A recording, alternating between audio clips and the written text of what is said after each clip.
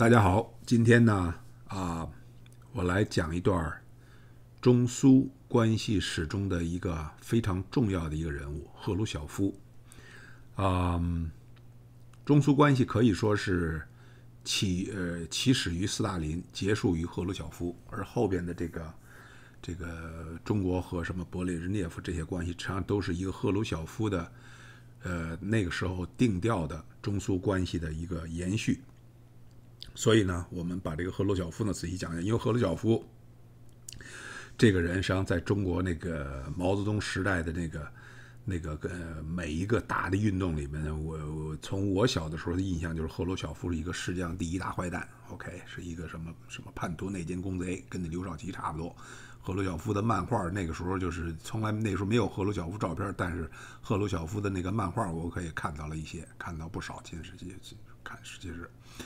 那个好，那么我们就讲一讲这个赫鲁晓夫是什么样一个人，赫鲁晓夫是怎么样这个成为了苏联第一领导人，同时呢，他为什么这个他和毛泽东的关系最后啊从一个盟友关系变成一个敌对关系，然后是怎么下台的？OK，大概其就这么一个过程吧。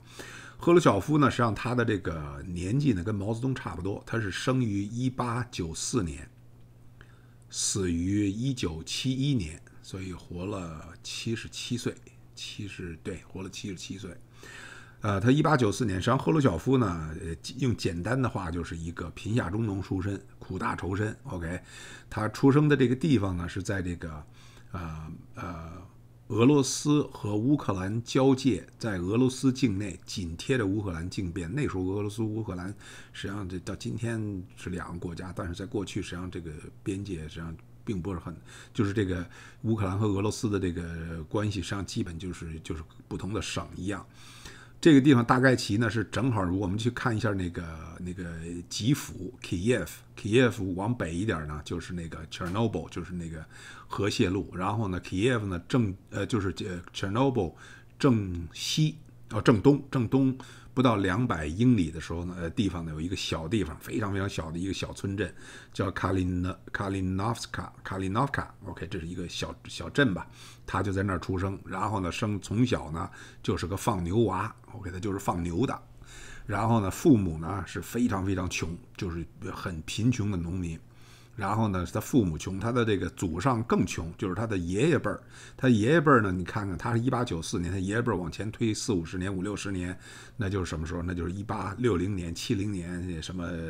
四几年、五几年、六几年，一八五几，那时候正好呢，还是什么？还是农奴时期，就是这个俄罗斯那时候是 serfdom 农奴时期。那时候农奴呢，那个农奴制呢。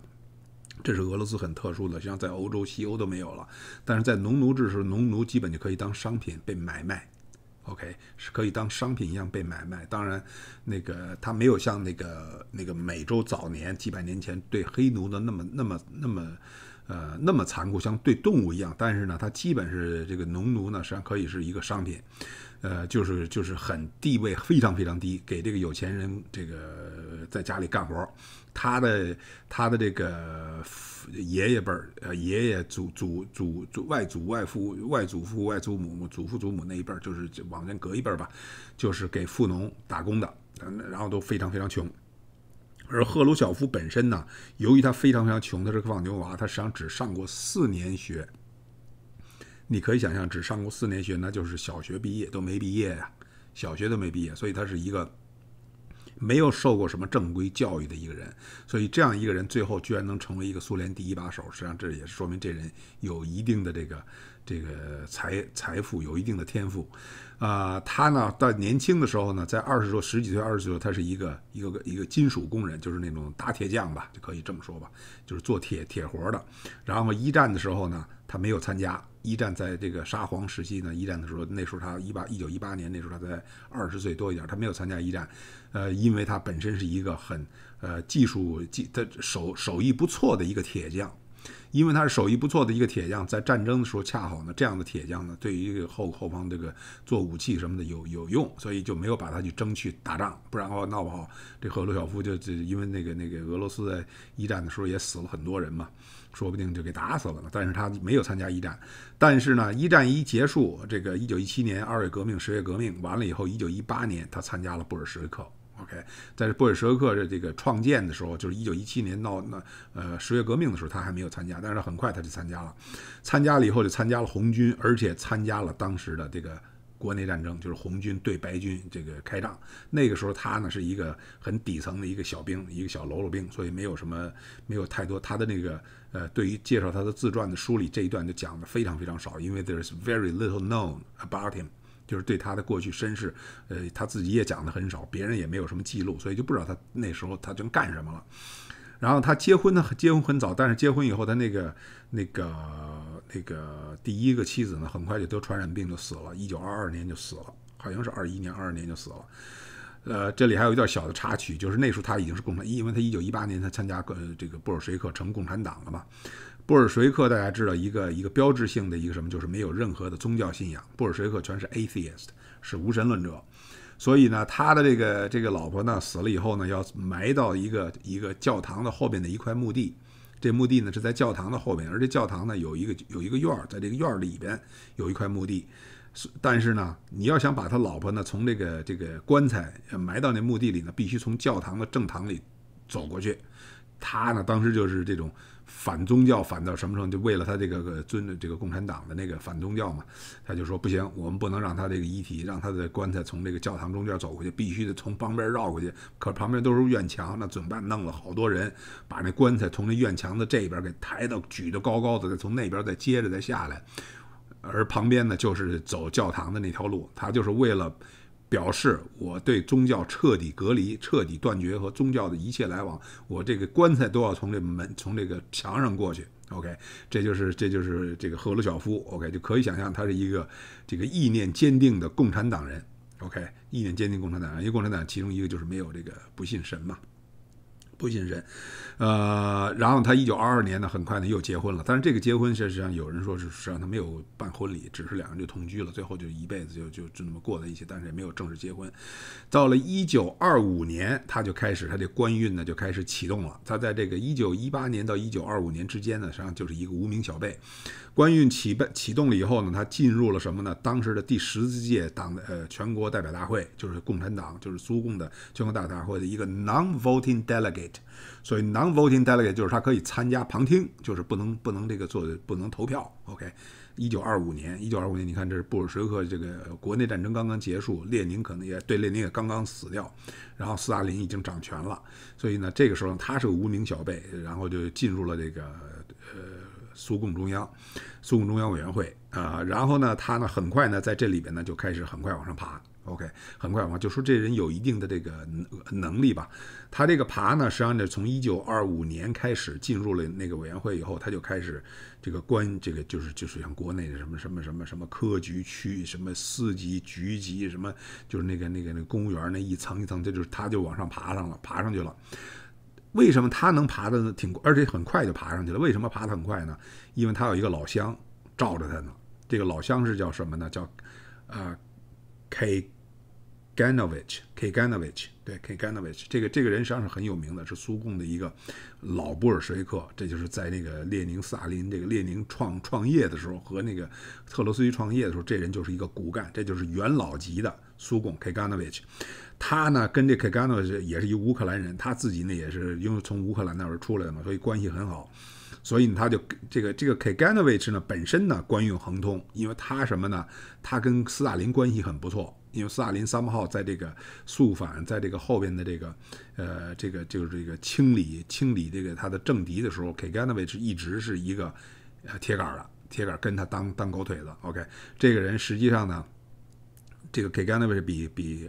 比这个谁比这个赫鲁晓夫还大一岁，一八九三年，然后呢，他是哪年死的呢？一九九一年，咱们看看他这家伙能活多长？这 K K 呢，就活了九十八岁，九三年、九一年，可能活了九十八岁。一九九一年七月二十五号，我为什么讲这个死死的这个日子呢？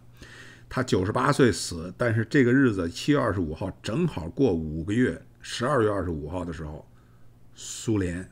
崩盘，苏联解体。OK，苏联的那个苏共的那红旗从那个红场上落下来，所以他就是差五个月就看到了他他一手打造的元老级的一手打造的这个这个王朝最后就就土崩瓦解，最后就就就就 dissolved，OK 解解散了。呃，我还看过一本书，就还专门讲过他，讲过他就是在这个他到那个时候，在一九九一年的时候，实际上就是八几年、九几年，尽尽尽尽管他还活着，但是他在苏联已经没有任何地位，因为他已经是八九十岁了，晕晕头转向了，然后住在一个小的那个那个特供的那个 apartment 里，就在就在莫斯科，然后美国的一个记者采访他，就发现这个人是超级的守旧，超级的这个这个这个这个这个。对这个当前的一切都不满意，OK，就是认为这过去这个斯大林那时代是最最辉煌，什么的都专制的那个那那个那个残酷破坏异己的那个时候，他是最向往那个时候，因为那时候是他得意的时候，OK。然后不久他就死了。Anyway，回到这个正话，言归正传，这 Kaganovich 就是赫鲁晓夫的这个这个什么，就是这把伞把他罩着。实际上他尽管比赫鲁晓夫就大一岁，但是他比赫鲁晓夫影响大。一九二八年的时候呢，赫鲁晓夫呢就就这个呃就被这个官运逐渐逐渐是这个上升呢上事业上升期，就到了这哪儿了？到了呃吉府去当这个当时的第二把手，党支部的党党委副书记。OK，可以说是党委副书记吧，就是乌克兰的吉府的党委副书记。然后呢，继续在那当了一段呢。到了一九三二年，过了四年以后，他又升了一级，这一级升的比较高，升到了墨西哥啊，不是墨西哥，莫斯科第二把手。第一把手是 K 冈那位，等于 K 冈那位把他，把他给他给他给他带到莫斯科来了。莫斯科的党委副书记、正书记是 K 冈那位，所以呢，这个等于是市委书记啊，就等于这个这这这个什么这个当时的这个苏联最重要的莫斯科首都的市委书记，他是副书记。从一九三二年这个当了这副书记以后呢，实际上呢，他呢就在这个位置上，在市委副书记的位置，显然他和斯大林已经很近了。距离就很近了。在这之前，实际上他是个无名小辈，可以说这是一个地方小官。但是这之后，他和斯大林就越来越近，越来越近呢，和斯大林的关系呢就越来越近。然后就时不常就到斯大林的那个别墅里边去跟斯大林面谈，或者说什么，就是经常等于因为经常能到斯大林的别墅，就跟就跟那到那中南海那个游泳池的那旁边那栋房子一样。你能叫到那儿经常跟毛泽东见面的话，你肯定是他的权力核心的。一个关键人物，这个能到了这个斯大林的这个这个打卡，OK，这个打打卡这个里边，那显然就是斯大林可以可以可以重用的人了。到了一九三四年，这又过两年，他就成了莫斯科的第一把手，而且成为了中央可中央委员会委员，这就可以有有投票权了那个中央委员会委员，而且是这等于是莫斯科的莫斯科区市区的党支部书记，OK，党委书记。然后呢，这个在这段时间呢，一九三四年呢，他就开始大兴土木，把这个莫斯科盖了一个非常大的、非常漂亮的一个一个那个地铁系统，地下公地地地铁呃地呃就是地铁轨道的那个网络。这网络今天还可以说还我我还去看过，确实很漂亮。然后每一个站都非常非常漂亮，金碧辉煌。这都是某种意义上是是赫鲁晓夫时代盖的，这是一九三几年。OK，今天实际上还成为了一个。去这个苏联，去这个俄罗斯旅游的一个景点儿，就是那导游都会带你到各个地铁站去转一转，看看那个地铁怎么盖的。地铁特别深，那个时候就是说盖的还是蛮蛮那个实打实的盖出来的。呃，一九三四年以后呢，在三四年这什么时候？这斯大林开始肃反了。OK，肃反这个这个非常残酷的、残暴的一个肃反运动，已经持续了好几年。那么这个时候，赫鲁晓夫干什么呢？赫鲁晓夫是一个坚决的支持肃反的一个走狗。OK，他这个时候是就是那种各种发言，强力支持萨林的这个这个什么这个肃反。那比如说他这里边就说什么，把这个特罗斯基什么这帮人就叫做法西斯走狗，把管特罗斯，因为特罗斯基那时候已经被萨林打倒。打跑了嘛，跑跑国外去，反西斯走狗，而呃，然后呢，像这样的人，这个这是赫鲁晓夫说，我们给他们的这个呃答案只有一个，就是枪毙，把他们都给毙了。就是所有这些，就是他就显然这话里杀气腾腾啊，就是这个肃反期间，期间斯大林这个肃反枪毙那么多人，显然这底下不可能是以斯大林一人干，这底下一大堆走狗帮他一起毙，帮他一起去去破坏人。那么赫鲁晓夫在这段时间呢，是对斯大林呢是。忠心耿耿，OK，然后呢，这个这个破坏肃反，然后这个什么这个呃抓捕很多很多的这些 victim，就是这些被抓的人，这就跟毛泽东搞文化大革命一样，他其实不是抓普通老百姓，是抓他们自己的这些官员 OK，就是他的这个权力机构，苏共权力机构的人，看看文化大革命不也是吗？打倒打倒走资派，那些走资派都是什么人？是本身他们就是当官的。OK，他不是。这当然随着这个知识分子，大量的知识分子，大量的有良心的人也跟着一起遭殃。OK，这也跟文化大革命类似。所以呢，这个赫鲁晓夫在这段时间呢，是等于是也是双手沾满了鲜血啊，就杀死了很他这个帮忙这个抓走了很多人。然后呢，在当时他在的这个莫斯科的这个这个这个这个这个党委的这个书记里面，有三十八个就是最高层次的党委党委的这个就是就是他这个委员会啊，这党组织啊，最高的这个官官衔最大的三十八个里有三十五个被枪毙了。这是在肃反的时候，三十八在莫斯科附近，呃，这个区。然后呢，这个什么呢？在莫斯科周边的很多的这个这个远郊的或者是什么那种省，就是地区吧，就是莫斯科外围的这些集中有一百四十六个这个党委书记里面呢，一百三十六给毙了，就就活了十个。你就可想这个当时这个什么这个啊，斯大林这个肃反有多么残酷，就是等于把他的这个。呃，当然，这里还包括很多他的那个什么，很多他的那个军队的那个高级将领也都给他让他给让他给枪毙了。所以就是说，斯大林可以说是把当时的这个苏联的苏共的领导阶层，尤其是中上层领导阶层，基本是一锅端。基本上一锅端，就看看这个赫鲁晓夫直接参与的这些这些地方，就是在莫斯科附近，这就是这么这么悲剧。OK，就是这么多人都给他。当然，这些这里边这些人有有几个好鸟，这也是一个我们的疑问。今天 OK，这当然这里很多人的呃，至于至于被枪毙的原因，肯定都是无辜的。但是呢，他们本身是不是好鸟，那是另外一个问题。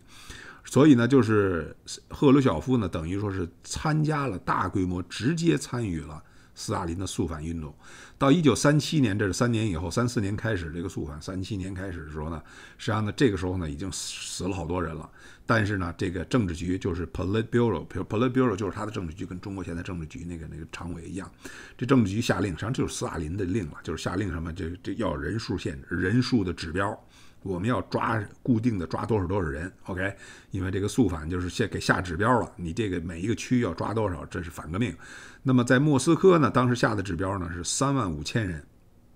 下了一个指标说这里边有三万五千个反革命，然后这其中这三万五千个反革命要枪毙五千个，这就是拿数来来来说事儿。结果呢就是这么干，OK？就是这么干，好像是那谁那个那个那个。哦，那个谁，那个赫鲁晓夫还超额完成任务了，弄弄干掉了四万一千多人，抓了四万一千多，然后枪毙了八千五。原来的指标是三万五和枪毙五千，结果他弄了抓了四千四万一，枪毙了八千五。然后这里不只是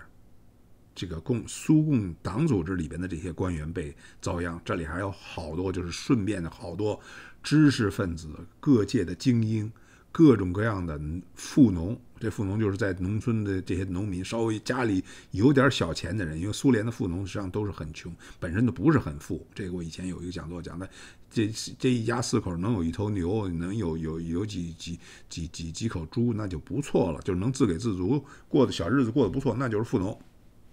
这些人呢，有两千多个，OK，这个被他枪毙了，被赫鲁晓夫亲自下令枪毙了。这些富农，所以你看，就是说，这赫鲁晓夫实际上是双手沾满人民鲜血。OK，他在这个肃反过程中，他是没有嗯丝毫不留情的，丝毫不留情，干得非常猛的。所以好多人命就在他手里就没了。当然，他是服从斯大林的命令，这是斯大林让他干的，因为斯大林不让他干，他也不会去干这种事儿。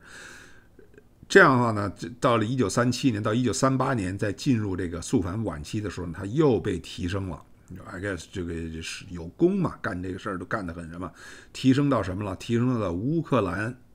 党委书记，这就高，又比比莫斯科的那个又高了一级。因为乌克兰上今天都是一个独立国家，那是很大很大的一个区域。这个这个一九三八年，他当了这个党委书记，而且乌克兰是苏联的这个主要的粮食产地呀，主要粮食产地。他进入了乌克兰的这个党委第一书记以后，他接着清肃肃反，接着肃肃清。OK，所以呢，就是说这个当时呢，这个对当时乌克兰的那个那个领导阶层的这个影响也非常非常严重，严重到什么呢？乌克兰的整个这个加盟国，这个他也有他的一个政治局，他的就等于是省省省委这样，省常委一样，只有一个活下来了。全都给抓起来了，抓起和枪毙。OK，基本所有被抓的全给枪毙了。那就是说，他到了乌克兰的这个参与的这肃肃反，这是谁？这个赫鲁晓夫也是立了首功。好，这是一九三七年、三八年，这随着时间往前走，看看马上就要到二战了。这个进入二战以后，OK，这个赫鲁晓夫呢是干做了呃，首先他他本身不是指挥战争的，他早期的这个这个角色是干什么呢？就是这个呃，做一个像一个一个中间传话兵一样，在他这个二战期间呢，实际上他是当时主要负责的地区呢是呃吉福，OK。呃，基辅呢，当时呢，德军把基辅给围住了，围住了。当时实际上是一个非常非常严重的问题，可以说基辅这一仗是是在这个呃，在这二战期间是很失败一仗。结果德国把他们围住了以后，抓住了六十五万五千苏军，呃，一个这整个就是等于是等于是一锅一锅端呢，这个。这个在这段期期期间呢，实际上呢，这个克鲁晓夫在这个整个基辅这个围剿的这个过程中，据说他没有扮演太勇敢、太英明光辉、伟大正确的这种指挥天才，都没有显示出来。所以这段历史实际上就是被轻描淡写，后来就讲的人不多了。但是，OK，这是基辅被围，这是乌克兰基辅被围。但是呢，一九四二年呢，这个斯大林格勒战役，赫鲁晓夫参加了。他这段时间呢，就整个斯大林被围剿的这个很长的这一段时间呢，实际上大家知道，斯大林格勒战役实际上是是二战中是最惨烈的一次战役，最惨烈的，因为双方就是出于不是出于军事目的，而是出于这个政治目的。这个希特勒呢是这打到这个。打到这个伏尔加河的时候呢，当时呢就正好碰到这个斯大林格勒，他想去到那边去弄油，因为那边有油田，占领油田。结果呢，这个斯大林格勒呢，这斯大林说你要坚决守住，因为这是我的名字，我的名字起名的这个城市，绝不能让斯大林，呃，被不不能被希特勒希特勒给占了。而希特勒呢，这这时候正好也是一根筋，就是说，既然是斯大林的地方，以斯大林命名的城市，我们一定把它占了。结果双方是绝对不许投降，绝对不许撤退。结果最后就是巷战，在整个萨林格勒，它是沿着那个伏尔加河的这这么一个城市嘛。巷战到什么程度？巷战到最后就是可以是几天几夜的，到后来就是几个月的那种那种僵持。这个整个的城里边一片废墟，几乎就没有，呃，双方没有任何一方完全把这个城市给拿下来。最后严重到就是一个楼，OK，一个建筑物上下两层。OK，一层是德军，一层是苏军，然后这两层就在这个同一个楼里边，上下层之间进行巷战，可以打几天。你就可想这斯大林这个斯大林格勒这战役有多么悲悲悲惨，几十万，最后当然是以这个苏军胜利，而且是标志着二二次世界大战的这个在这个东东线的战役的一个大转折，就是从这以后这个呃德国的这个整个的这个攻势就变成了守。而这个几十万的这个德军呢，就被这个被俘虏了，然后的那个那个他的那个呃那个那个元帅也也给抓起来，最后在东德就病死了，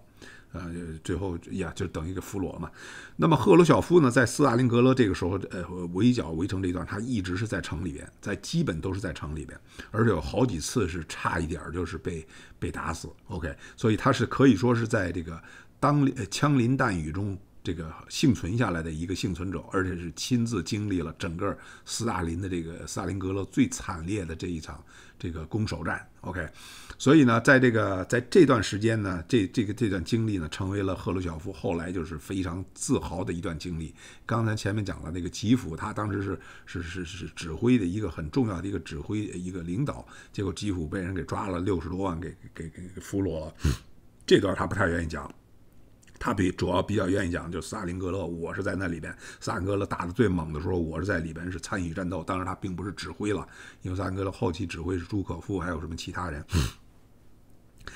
尽管，所以他在萨林格勒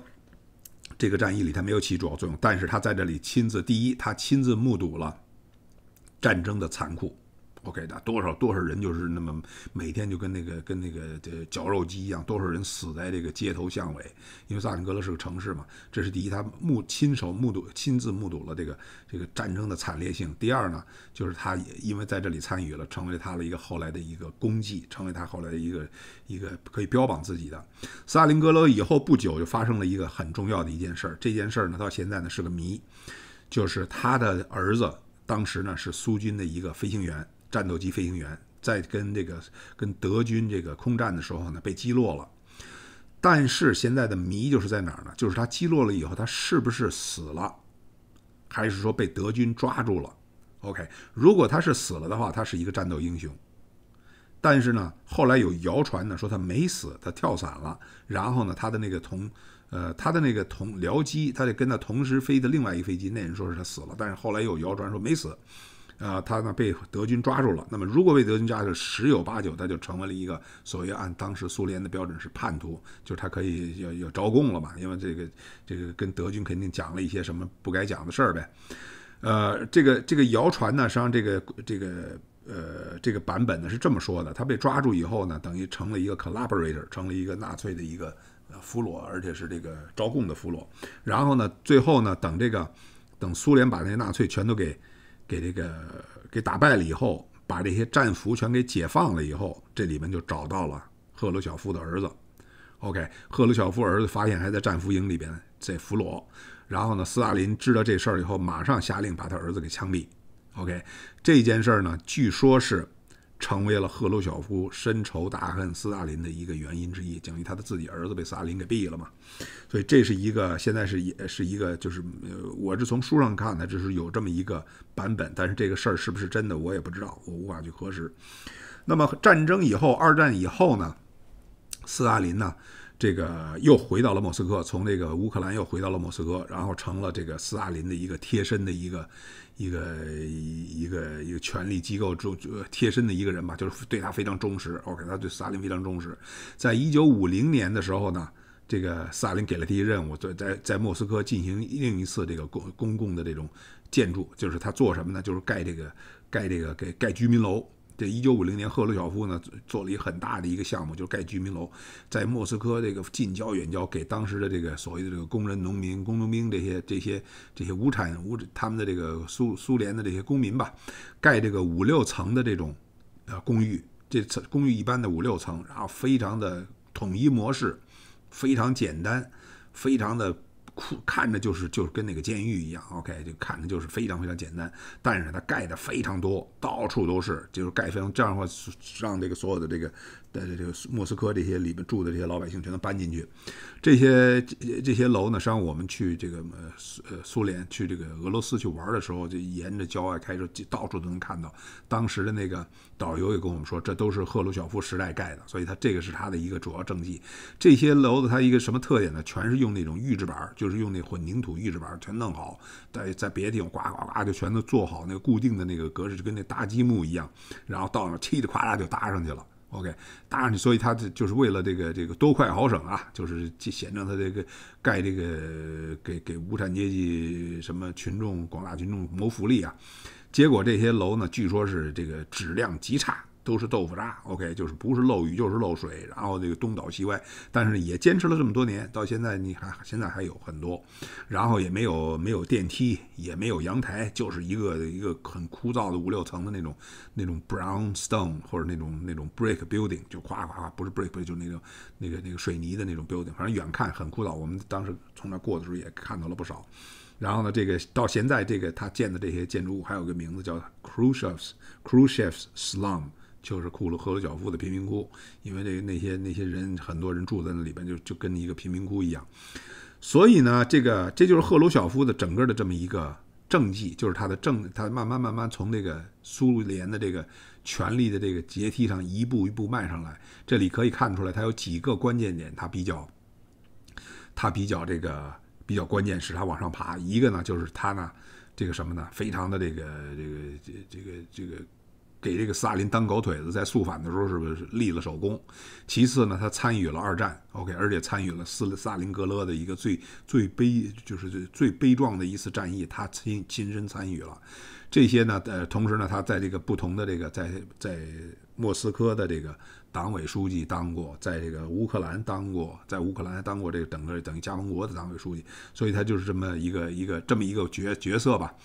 那么。这些东西实际上并不是使他掌握权力高峰的主要原因。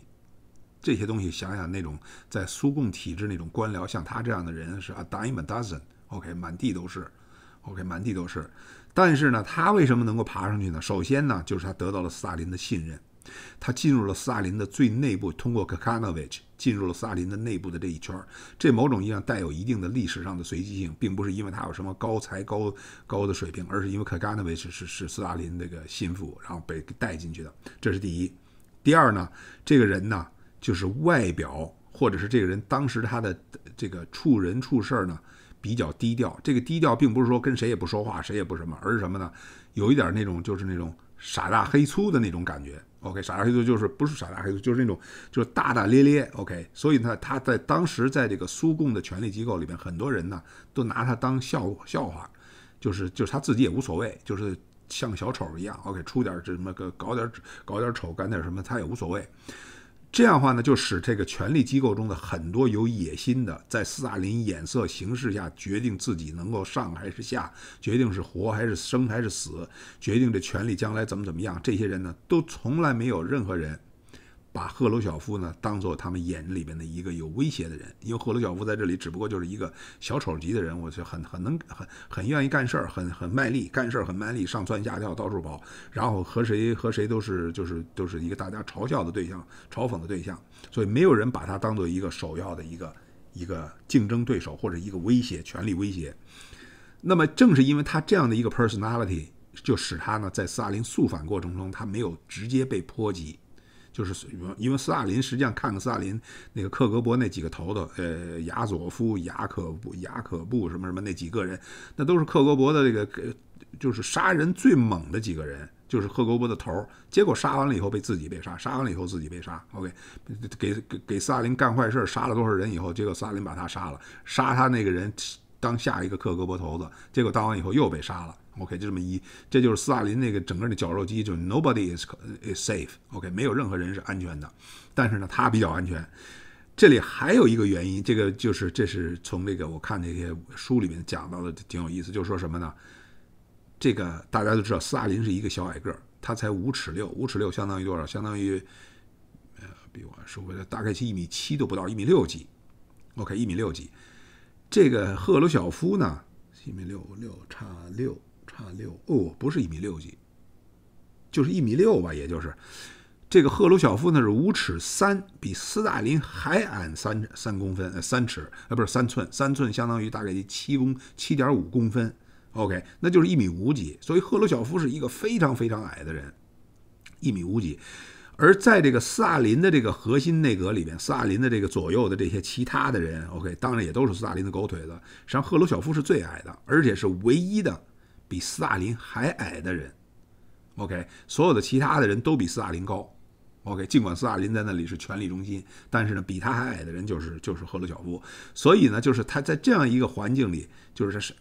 一小矮个儿，然后又什么？就斯大林没有把他，从来没有把他当做一个威胁，然后他周边的人也没有把他当做一个威胁。然后这里面就以前我也讲过，那个斯大林死的时候发生的权斗里面也提到，就是实际上斯大林就是有的时候就拿这个赫鲁晓夫当小丑，呃，因为他个儿特别小嘛，所以看到要是有时候就是我晚上那个在他的打卡里边吃完了，吃的喝的晕头转向了，几个人吃饭喝酒，然后就让让赫鲁晓夫跳舞。OK，然后赫鲁晓夫跳舞，跳什么舞？跳那个哈萨克的那种地拍地皮舞，就是有你大家我们知道看到那种，就是科萨克人在那个地下半半蹲着，然后在那个地下梆梆梆梆，那个脚就在那蹦着连连撞。而这个赫鲁晓夫呢，本身呢又是一个很笨的人，就是他，你别看他个儿矮，但是他他手脚并不是很灵快，结果在那跳的时候就显得特别的特别的那种那种那种吃力，就是那种丑态百出。然后斯大林就看着哈哈大笑，就拿他当猴耍。在这种时候，实际上是一个在某种意义上，在这种权力最高层，这某种意义上是一个侮辱，就是对他的一种侮辱。但是呢，赫鲁晓夫人家就能忍得住，他就一点都没有表现出他对这件事儿感觉。不情愿，而非常高兴，乒了乓啷又蹦又跳，那基本就是等于斯大林把他当猴耍嘛。OK，所以他就是这么一个人，所以就斯大林就从来没有把他这个当做一个亲人。如果他是斯大林认为这个人有任何对斯大林有任何威胁，那早就给他干掉了，早就给干掉了。所以某种意义上总结来讲呢，这个谁赫鲁晓夫呢是斯大林的一个走狗，加上呢工作努力，再加上呢他对别人呢没有任何威胁。OK，这几点呢，就造造使他的官运呢就一直往上走，没有往中间没有碰碰到太大的曲折。一九五三年，OK，这个斯大林呢就进入了他的生命的最后一年。在这一年，我们原来有一讲，就斯大林死后的权权斗，OK，里边我们讲的很细。这里面呢，我们就不多讲了，我们只是大概其的把这个就稍微一带而过。基本就是说，斯大林呢，呃，在他晚年呢，基本就是在他的打卡，在他的别墅里边，把这个这个权力中心那些主要的人，就跟那个毛泽东加上那四人帮加林彪那帮人一样，就是整个这个这个政府啊，就是围一切都围着毛泽东转。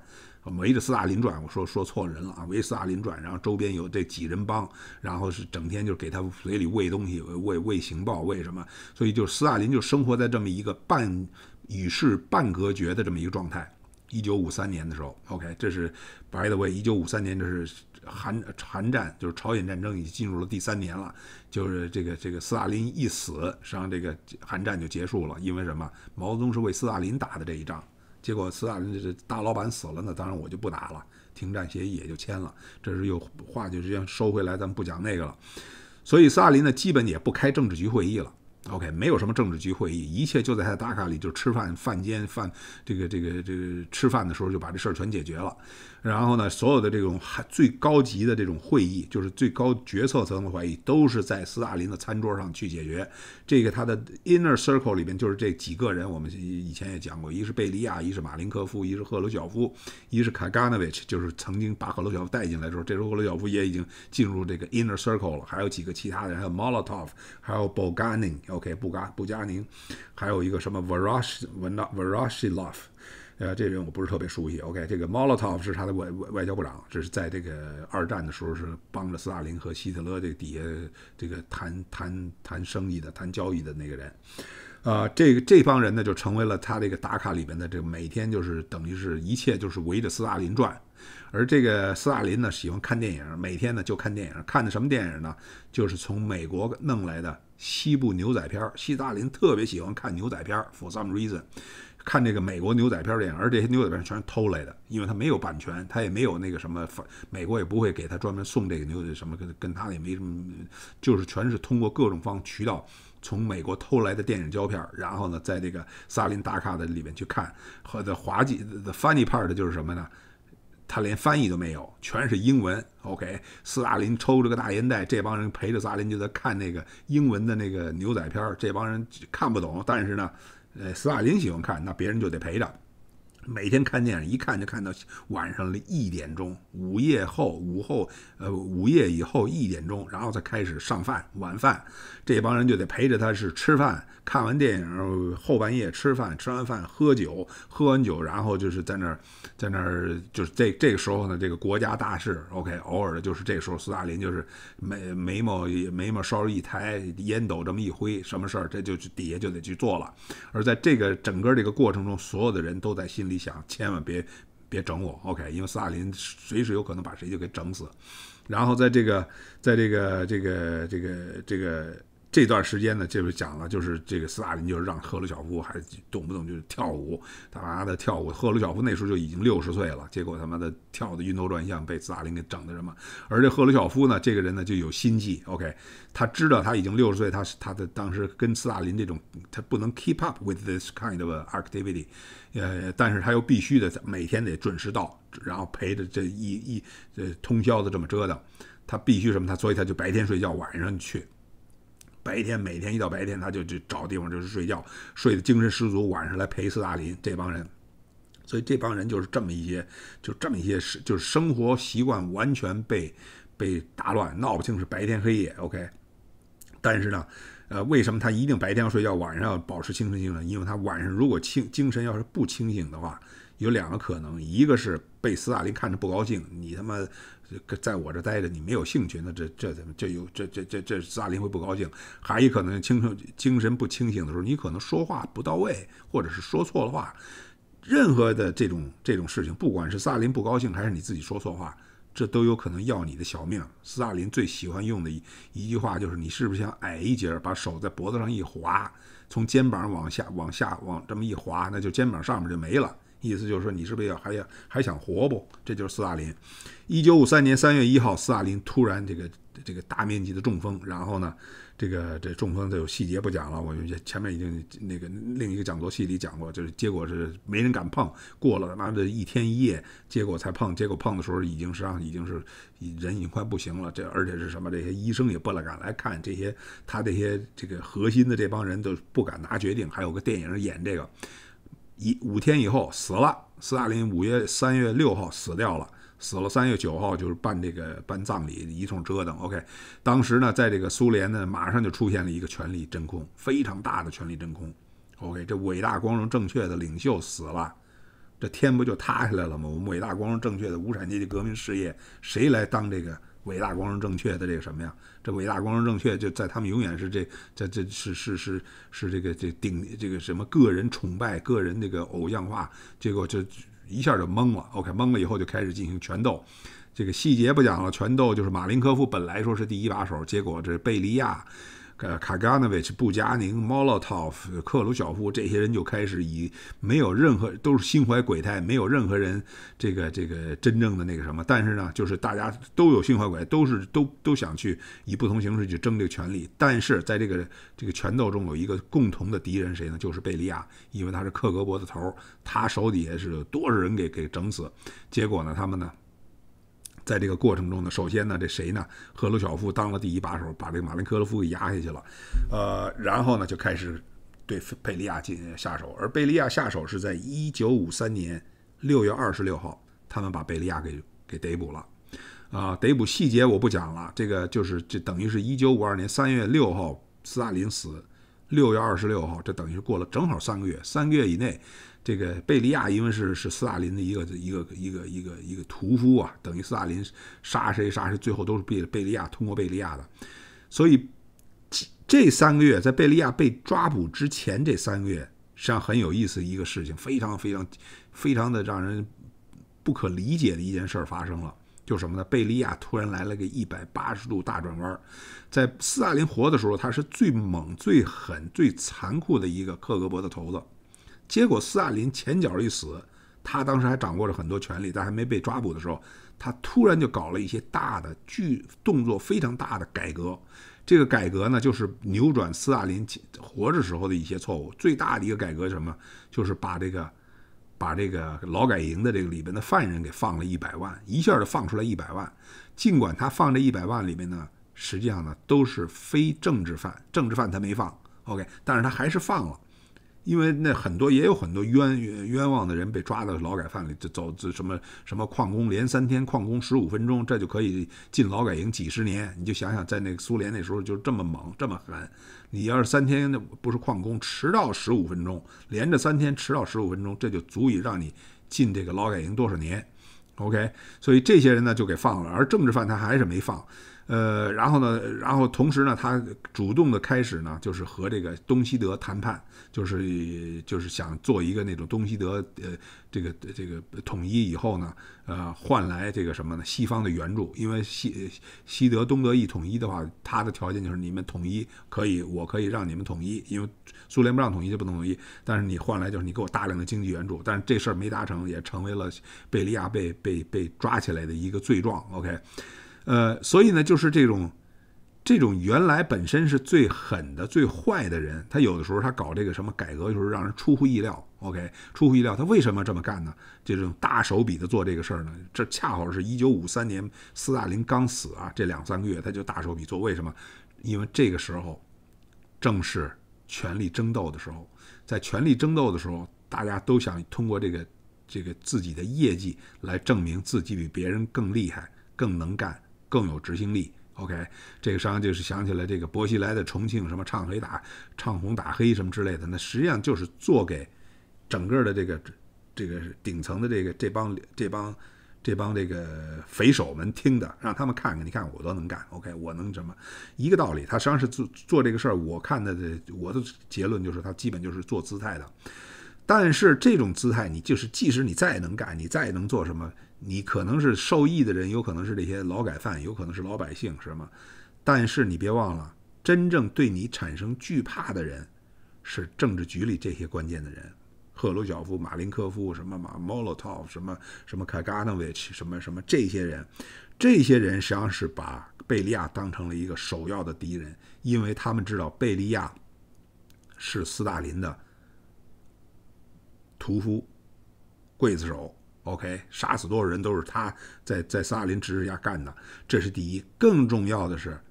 贝利亚是克格勃的头啊，他手里掌握着无数的每一个人的秘密档案，包括赫鲁晓夫，包括马林格夫，每一个人在他们这些人的这个整个生涯里，有哪一个人说是你这个档案是完完全全干净的？肯定没有。那如果你的档案在你的对手手里，那对手随时可以把这个拿出来整你。OK，所以呢，所有人都都知道贝利亚是我们的头号敌人，所以必须把他干掉。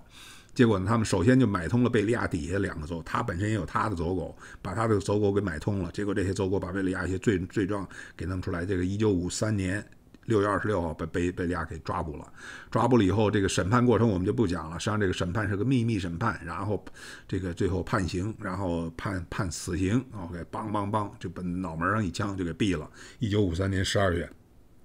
包括他的底下的五个这个跟他非常贴身的心腹也一起给毙了，所以这个就是这个就是这个等于是说赫鲁晓夫斯大林死后，赫鲁晓夫的拳头，赫鲁晓夫最后呃这个从中间呢脱颖而出，成为了一个胜利者。而这个胜利者他既然胜利了，把贝利亚也枪毙了，那把贝利亚的那些所有的秘密档案他就给控制住了。你想想。如果赫鲁晓夫控制住这些秘密档案，他并不是用这秘密档案去整底下的老百姓，是整什么？你别忘了，他还有好多其他的竞争的潜在的权力竞争。刚才讲了，马林科夫、布加宁、什么 K. Ganovich，可能尽管是把他提拔上来，最后也是也是也是受他的这个这个这个敌敌意。然后再加上这些人，所有这些人，OK，手里边有见不得人的事儿，全在赫鲁晓夫手里拿着了。OK，他就利用这些呢，把他在当时整贝利亚的时候那些同盟，因为整贝利亚大家是联起手一起整贝利亚，整完了以后，这些跟他一块同盟整贝利亚的人又成为了被他整的对象。OK，正是他整的对象，所以整个这个过程呢，实际上是这样：赫鲁晓夫和这个贝利亚和斯大林有一个最大的区别，他整是整，但他不照死里整，不像贝利亚，不像斯大林，那就是说我要整你，我就是。就就让你脑瓜短一截儿，OK，这就是我的我的这个这个最终目的。而这个什么呢？这个赫鲁晓夫呢，就是很多呢，就是把他从权把对手从权力中心给他踢出去就完了。OK，踢出去并不是照死给你弄监狱里给你照死里整。好，这个呢就是赫鲁晓夫的这个最后掌握权力最高阶段的一个这么一个简史吧，就是一个简单介绍。那么我们下面呢就进入了我们大家比较关心的一段，OK，就是赫鲁晓夫进入了。权力当了苏共的这个第一把手以后，他是为什么和毛泽东和中共产生了巨大的分裂？这个事儿呢，就得从一九五六年的那个秘密讲话说起。这个是很有名的一一个事件，我想大家很多人都听说过。一九五六年在苏共二十大，呃，一九五六年二月十四号，在苏共二十大，这个赫鲁晓夫呢，突然呢就发表了一个秘密讲话。这个秘密讲话是在二十五号发表的，他这个二十大是十四号开的，但是二十五号他讲的，他这个讲话是非常的长，他讲了四个小时，据说是讲的时候底下很多代表都懵了，因为因为这是伟大光荣的这个这个这个这个这个斯大林主席啊，伟大光荣这呃这个什么这个舵手，伟大的舵手，伟大的什么这突然的被他的一通一通这个声讨，OK。他呢，实际上呢，主要声讨斯大林是什么呢？主要就是斯大林针对斯大林肃反，OK，斯大林肃反，这个这个，他把斯大林的这个肃反呢，作为斯大林一个主要对罪状，他是怎么说的？大概结果把它翻成中文是怎么说的呢？他说斯大林 OK 没有任何对底下的人的忍耐，就是没有忍耐性，他的残酷性，他的对权力的这种滥用性，使他呢，经常呢采取了。这种压迫和物理上，呃身呃身体消灭的方法，来对对付那些，OK，对付那些敌人。这些敌人呢，有的是真的敌人，有的是呢，只不过是什么呢？对政府呢的政策呢，没有完完全全认可的人，都成为了他的敌人，就是扩打击打击扩大化了嘛。就是说，这等于是对斯大林的一种胜，就是他等于是对他认他眼中的所有的敌人，有的是真敌人，有的是不一定是真敌人，全都用这种什么肉体消灭，OK，肉体就是 physical annihilation，就是肉体消灭，那就是把你打死嘛，把你枪毙嘛。那斯大林的时候枪毙了好多人，用这一种方法，用这种残酷的、非法呃零容忍的方法，使他使斯大林呢是滥用了他的权利，OK，呃，这些都说的没错。实际上他说的这个斯大林这些话都是没错，但是我们下面分析一下他说这个话里面有哪些主要的局限性和漏洞。第一。我们可以基本说，他说的这话是一个烟雾弹，就是赫鲁晓夫对斯大林评价是一个烟雾弹。为什么这么讲呢？因为他的对斯大林的批评有很强的选择性和随意性，就是说，斯大林比如说犯了一百个罪，他挑出来三十个罪把斯大林给 condemn，但是呢。明显的看出来，这三十个罪，并不是说，哎，我一二三四调前三十个，后边七十我就不不去赘述了，不是这个意思，而他是很有目的性的去选择对斯大林的批评。OK，因为什么呢？这个这个这个这个目的性在哪儿呢？就是他批评的这些罪状，都是把他自己摘清的那些罪状，尽管所有在场的人都知道斯大林干的这些坏事儿。赫鲁晓夫都有一份儿，不能说是每一件事都有一份儿，但是赫鲁晓夫从中从中是大大的受贿，从中是是是是前边的是这个这个急先锋，one of the one of the 这个这个这个什么这个这个 one of those profited and even abetted Stalin's crimes。啊，所有的人都记得，甚至就是这里边我在这里提到，就是在在斯大林正反闹得正热闹，都是一九三七年，这个赫鲁晓夫在一次的这个乌克兰的一次讲话里就说，他说我们双手赞成斯大林，OK，所做的一切事儿，OK，这个这个这个，然然后呢，那些呢，所有的那些反对斯大林的人，反对马克思、恩格斯、列宁的人，OK，这些人呢。我们都要去把它干掉，OK。而斯大林呢，本身呢是我们的希望，我们的光明，他就像好像是我们全人类的一盏明灯，在前面给我们照引、指引着方向。这就是。这就是赫鲁晓夫对斯大林如此肉麻的吹捧。一九三七年，然后斯大林是我们伟大的天才，our great genius，伟大的天才，我最热爱的人，我们 great leader，最伟大的领袖，呃，而且是我们时代最伟大的人。OK，所以你看他就是用这个用这些词儿都是毫无保留。OK，这就跟那个当年那文革的时候，那么伟大的导师、伟大领袖、伟大什么什么伟大舵手，就这就是就是就是这谁这个这个赫鲁晓夫。吹捧斯大林就那么吹，吹的简直就是就是那个那个那个肉麻的往上吹呀。OK，但是呢，就是这样的话，你想想，这都是赫鲁晓夫说的。但是在这个什么呢？在这个一九五六年这个秘密讲话里，当然赫鲁晓夫把斯大林就标榜成一个一个一个一个非常残暴、非常这个不留情面，然后把对方全给干掉的。他对斯大林说呢，尤其是斯大林是把这个“人民公敌”这个词儿，他认为他是严格批判。他说，斯大林借用“人民的敌人”，就是 “enemy of the people”，人民的敌人这个词儿，杀死了很多无辜的人。OK，这个还是我讲的，就是这个“人民的敌人”往往是一个非常恐怖的一个词儿。一旦用这个词儿的人，你就知道他他他没有好意。而这个别人就实际上这底下人也都知道，“人民的敌人”这个词儿，你斯大林用了很多次，你赫鲁晓夫也没少用，你赫鲁晓夫也没少用。OK，但是呢，底下没有人敢跳出来指指出来，因为赫鲁晓夫当时已经是第一把手，而沿用斯大林的那种专制体系，谁是第一把手，你是不能反对的，你只能在那看着。这是第一。第二呢，只能在那听他讲。第第二呢，底下这些人干净吗？也不干净。OK，就苏共中中央的的中央的这些委员，在这个一九五六年坐在台下的那些，那都也都是层次不低的了。各个地区的这个这个比较比较 senior 的、比较有权有势的一些这个苏共的这些成员，这些人实际上每一个人几乎没有什么例外，也都沾着人民的鲜血，他们也都干了无穷多的坏事儿。OK，所以像在这样一个体制下，实际上你能够你爬得越高，你的坏事就得干得越多。因为因因为在这样一个体制，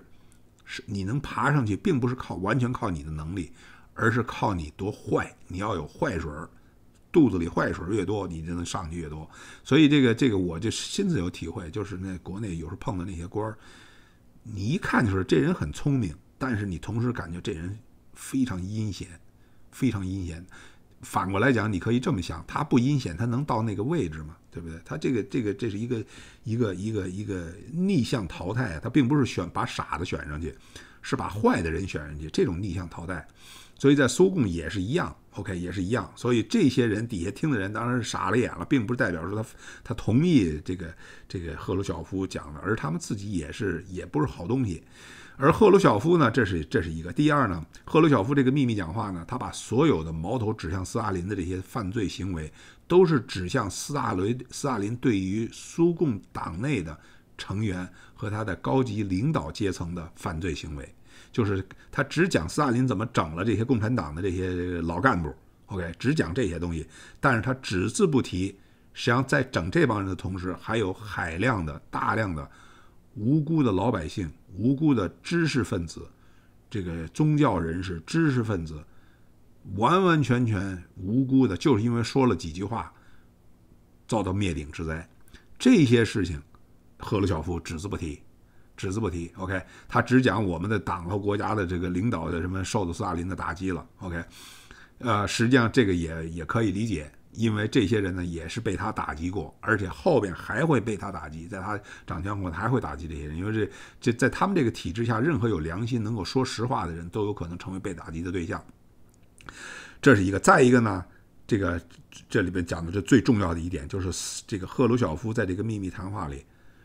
没有任何的语言用来攻击这个体制，这个体制没错，OK，他从来不说这体制错了，只是说斯大林干了这么些事儿。而他呢，攻击斯大林，他也不是说斯大林是恶魔，是人民的敌人，不是，他是以什么形式来攻击斯大林？他说是斯大林呢，本来是个 great man，是个伟大的人，是个领光荣、伟大、光荣、正确人，但是呢，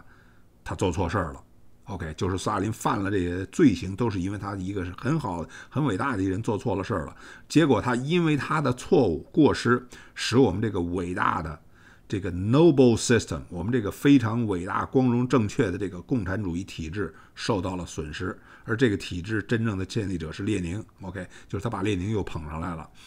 所以呢，就是斯大林呢破坏了这个体制，而且斯大林本身是好人，只不过意图是错的，结果犯了一些错误。这就等于是什么？就是说是这个这个这个高抬重轻轻打，什么叫什么高举轻放啊？就是等于是说你你你是否定了斯大林，但是呢，你没有否定斯大林后面的这个邪恶体制，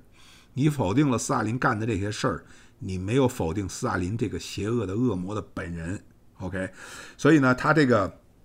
这个这个，在这样的一个秘密讲话的这个下边呢，基本的结论就是什么呢？赫鲁晓夫做这个讲话的目的，不是去否定这个体制，否定斯大林本人，而是什么呢？想说这中间呢出现了错误，出现了犯了斯大林犯了很多严重的错误，甚至可以说是罪行。但是我们呢是要把这个错误给它清掉，把这个体制呢把它恢复，恢复成一个健康的状况。OK，健康的状况。然后呢，这个什么呢？这个。这个这个继续沿着这个伟大、光荣、正确的共产主义事业往前走，而不是把这个整个这共产党的这个这个共产主义的这个这个这个这个这个虚晃的骗局把它推翻，不是。OK，我们是要沿这条路走，这是一个。再一个呢，我们回想一下斯大林的肃反里最被他打的最猛的是谁？就是特罗斯基和布加宁。这是两个他的这个肃反里面的两个最主要的，OK，就就跟那个文革的时候，一个是刘少奇，一个是彭德怀一样，OK，就是这两个是头号敌人。结果呢，他在否定斯大林的时候，他没有否定这个打击这两个人的错误性。实际上，这两个人，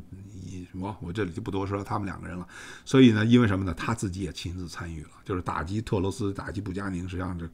赫鲁晓夫也是急先锋，当然他不是一个主角了，因为他本身在那时候。权力位置还不是那么高，同时呢，他对当时苏联的这种强行的集体化、农庄集体化这个大运动，有点像那有点像那个五八年那种大跃进类似那种概念，犯下了那么多罪，成那么多的饥荒，那么多的人这个这个饿死，被什么被弄得妻离子散、家破人亡，他家破人亡他不讲，而那些罪行他都不讲。看看他讲的什么，就是这个秘密讲话就是一条。啊，几条，一个是攻击斯大林对党内干部的破坏，一个是攻击斯大林的个人崇拜。OK，他攻击个斯大林个人崇拜是攻击的蛮多的。这是个秘密讲话，但是这个秘密讲话一点都不秘密，讲完了以后，那么几那么一两千人在底下听，很快他的稿就传遍了整个苏联，传遍了全世界，全世界的这个新闻组织，呃，包括这个这个各全世界政府都都知道他讲什么了。那这个显然就是造成了一个很大很大的影响。这个细节就不讲了，就是等于说一个震撼，大家说哦，这个赫鲁晓夫是一个一个一个不同的人。OK，居然能够这样的把这个过去的这些罪行给他这么这么毫无保留的。当然，实际上是有保留，就是这么挑开了去去去批评。但是呢，后面这几年呢，苏联就开始否定斯大林。OK，否定斯大林，各个地方的那个以斯大林有关的那些纪念碑，逐渐就给拆了。然后以斯大林有关的那些很多的地名也给改了。最有名的当然就是斯大林格勒。斯大林格勒大家知道，这个今天不叫斯大林格勒，你真查斯大林格 Stalingrad，实际上它叫 Vogograd。OK，Volgograd 像 Volgo 是伏尔加嘛，叫伏尔加格勒了，应该叫，就是因为他在伏尔加河上，所以就是斯大林格勒也给改了。然后呢，一九六一年呢，最大的就是改斯大林格勒名字，同时把斯大林的这个尸体从这个从这个红场的那个那个列宁的那个那个水晶棺边上也给搬出去了。OK，等于斯大林就是给 de-Stalinized，就是 de 把斯大林给否定了。而这个什么呢？这个这个这个。赫鲁晓夫的这个一九五六年的这次秘密讲话，某种意义上在当时是对整个世界、对共产主义世界，因为当时在他讲话的时候，当在场有很多全整个欧洲的，包括这个中国好像没有，当时没有代表，很很多的那个中国有没有？中国应该有的，至至少毛泽东和那个周恩来可能不在。呃，然后呢，那个那个什么，那个听到以后都非常震撼。我家伙，实际上他等于把大家心里都明白的事儿给讲了嘛。尽管他讲的是有代表性的、有偏向性的，但是呢，这个呢就等于给全给东欧的这些国家呢送去了一个信号。这个信号并不是赫鲁晓夫本意，但是去产生了这么一个影响，就是东欧，尤其是波兰和匈牙利。知道这个讲话以后，马上这个反对势力就开始起来了，说：“哦，这个这个这个赫鲁晓夫看样子是个改革者呀，这个斯大林的那种铁腕把我们给摁在手底下，摁把整个东欧国家各个政府这么摁得那么严实，看样子有戏动一动。结果呢，就开始出现各种各样的动乱，啊，然后这个动乱呢，同时呢，还有一个很严重的，不不是严重，就是一个很重要的一个 implication，重要的一个 consequence，就是和中国的关系出现了比较大的一个。”一个变化，那么这一节呢，我们就先讲到这儿。下一节呢，我们就把这个目光呢转到中国，就是这个赫鲁晓夫和中国的关系，在这个一九五六年秘密讲话以后，有哪些主要的事件使他进一步的进入了一个恶化？这个下一节接着讲。